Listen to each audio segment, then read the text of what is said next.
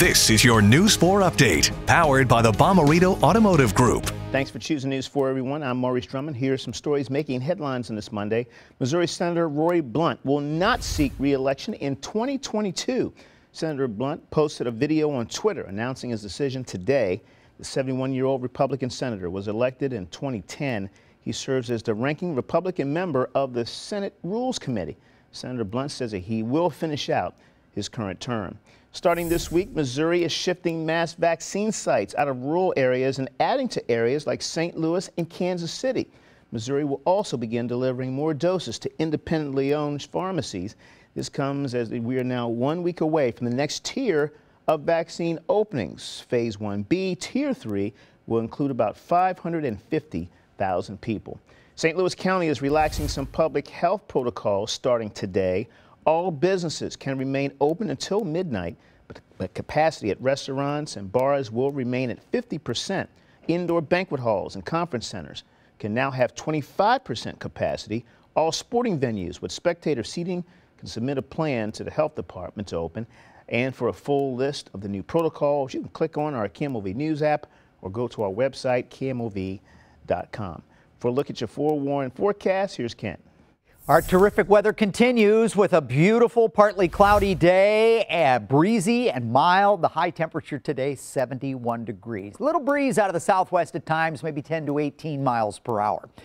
All right, fast forward with me, and uh, we're going to midnight Thursday night, Friday morning. Uh, I'm sorry, Wednesday night into Thursday morning. And you can see this rain move in early Thursday in the northern tier of counties here. And then as we go through the day, this front sinks into the area and kind of settles and then even just maybe flips back to the north a little bit or settles just to the south.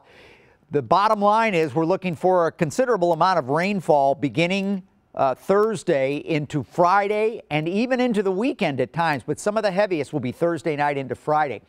Tree pollen still showing up at a high level, but now the elm and the juniper getting in on the act. We've had some maple for a few days now, and the mold count is low at the dry air that we're in right now. So a breezy day at 73 degrees today and partly cloudy, downright windy tomorrow. Could see a spot shower, but very little rain anticipated. Temperatures remain near 70 for the next few days. Thursday, we start to see some rain and storms, especially Thursday night into Friday with a 70% rain chance, 59 degrees for the high. Then the temperatures drop off a little bit, 53 for the high on Saturday with a 50% chance of rain.